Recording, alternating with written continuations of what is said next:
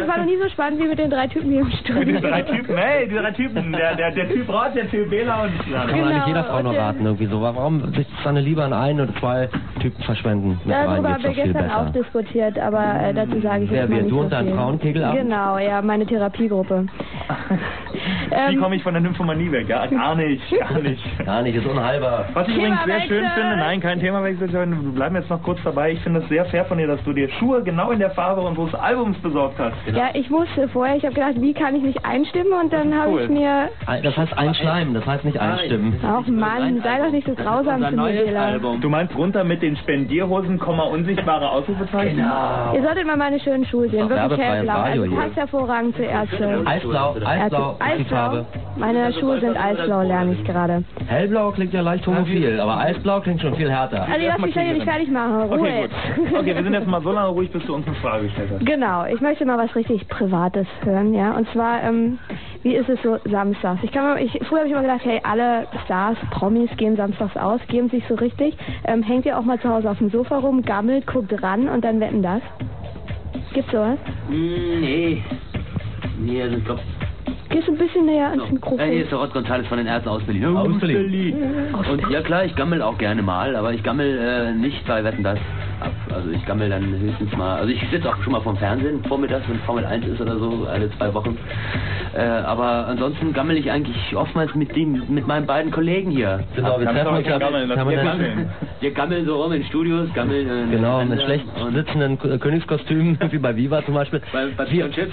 wir ähm, äh, Fakt ist als Popstar und ich glaube, dass das ist jetzt universell für fast alle, gilt das für fast alle Popstars, wenn man am Samstag ausgehen will und man ist jetzt nicht so verklemmt wie sehr viele und geht sowieso nur mit Bodyguards raus, sondern so wie wir eigentlich Leute, die also so durchaus auch gerne auf sich allein gestellt sind, dann ist Samstag der falsche Tag für uns zum Ausgehen.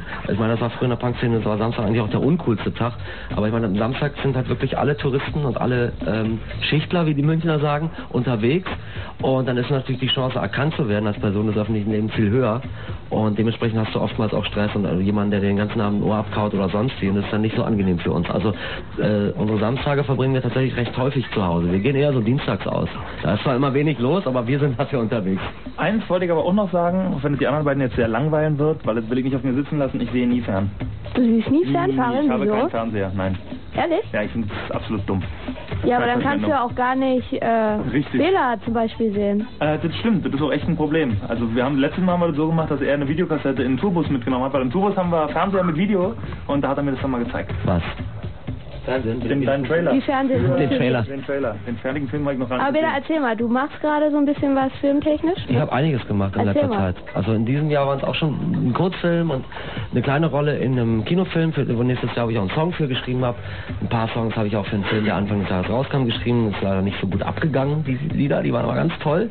Und, ähm, und spiele jetzt demnächst noch in einem Kinofilm mit, also wird jetzt gedreht, der irgendwann Ende nächsten Jahres dann ins Kino kommt. Und Mit wem ist der sonst so, außer dir? Äh, Heino Ferch und Heike Makatsch. Oh. Und noch drei anderen ganz tollen Schauspielern. Hochkarätige Besetzung. Heike kennst du auch noch ganz gut, oder? Heike kenne ich sehr gut, wir sind gut befreundet. Wir haben auch schon mal zusammen gesungen und wir kennen uns auch von davor, bei Viva und später bei Bravo TV, ne? Ich habe echt von davor und von dahinter, oder? Mhm. Wow, wow, wow, wow, wow, wow. Machen wir mal kurz noch von ganz davor. Die Ärzte früher. Einen der, Song, den wir vor, einen der Songs, den wir vorhin in der Redaktion noch schön kollektiv gesungen haben, war. so nervös? Ja, drei Männer machen mich nervös. Genau, als die Ärzte noch Gangster-Rapper waren, haben sie über kleine Astronauten gesungen. Was fällt euch noch zu dem Song ein?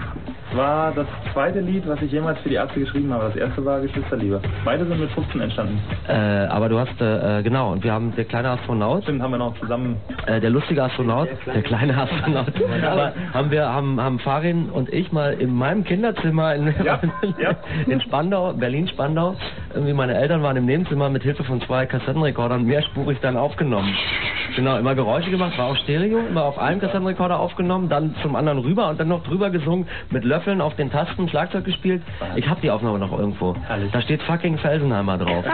Und das war damals, glaube ich, also auch damals noch nicht für die Ärzte, da waren wir noch bei Soll in Grün. Also hören wir jetzt Dieser sozusagen die Ausdünstung von 15-Jährigen. Apropos Ausdünstung, Genau. habe ich schon erwähnt, dass hier drin hier. Puma-Käfig riecht? Ja, okay, wir können wir noch versuchen, Stimmt mehr. Fenster Stimmt überhaupt. aufzureißen. Nein, nein, es liegt nur an meiner Hose, ich ziehe sie wieder an. Okay, runter mit den Spendierhosen, die anderen. Also, so Okay, viel zu den Ärzten 1982. Ja, wir müssen uns gleich verabschieden. Ich will aber noch ein paar Sachen wissen, weil die Fans es natürlich gefragt haben. Was ist mit Tour und was ist vor allem mit Geheimtour vorher? Weil ich habe gelesen, die normale Tour geht erst im März los. Im März geht die Tour los. Es sind also die paar Tour Tourdaten, die auf, dem, auf unserer Website äh, www.bademeister.com stehen. Demnächst auf dem Inlay unserer neuen Single. Auch das sind immer noch nicht alle Tourdaten, aber eine Geheimtour wird also so viel kann ich verraten, wird es davor nicht gehen, weil wir brauchen auch mal ein bisschen Urlaub. Und danach wird wenn es eine Geheimtour gibt, wird sie nicht im Radio bekannt gegeben, weil geheim. Heißt geheim. Also Scheiße, ich habe gedacht, ich kann euch ein bisschen verarschen, aber da ist ja nichts. Okay, du also wolltest nichts. nicht verarschen, du wolltest uns reinlegen. Ja, keinen genau. Spaß, die Anfragen. Na Genau. toll. Das na willst, du, das willst du nicht. Der einmal die erste verarscht hat, der hat danach so ein komisches leeres Gefühl in sich. Im Magen. Ich hab sie doch Okay. Ich möchte noch eine Sache schnell zur DVD wissen. Es kommt ja eine neue, äh, es kommt die erste DVD von den Ärzten Genau. überhaupt raus. Die ist schon draußen die ist schon am draußen. 23. Genau wie das Album. Am Montag Ah, kam sie raus. Okay. Killer. Jedenfalls fand ich das Lustigste, was ich drüber gelesen habe, dass man Karaoke-Songs von den Ärzten singen Genau. kann in vier Sprachen. Welche Genau. Sprachen? Schwedisch, Spanisch, Nee, Finnisch. Japanisch. Nee, Schwedisch. Finnisch? Ja. Finnisch, Japanisch, Schwedisch? Schwedisch, Japanisch, Mexikanisch und, Und Deutsch.